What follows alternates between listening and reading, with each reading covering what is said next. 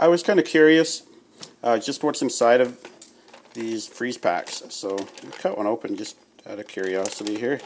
Um, and it's like all this, I actually cut two open. It's like real jelly.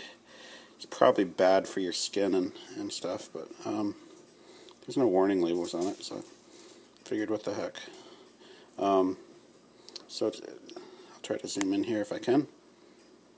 You can kind of see the just kind of balls up and makes a goo.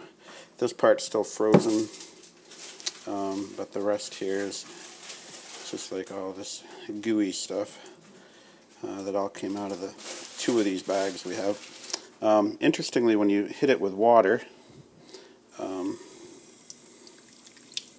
it kind of just dissolves.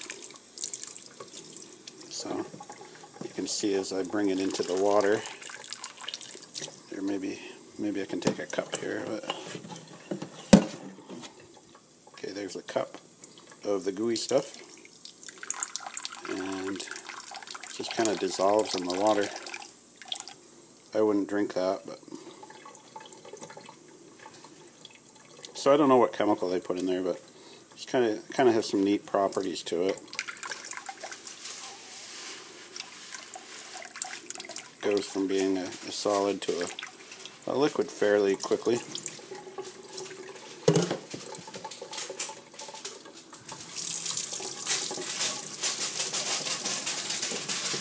Anyway, I just thought I'd take a minute to show that. If you know anything more about these, feel free to comment.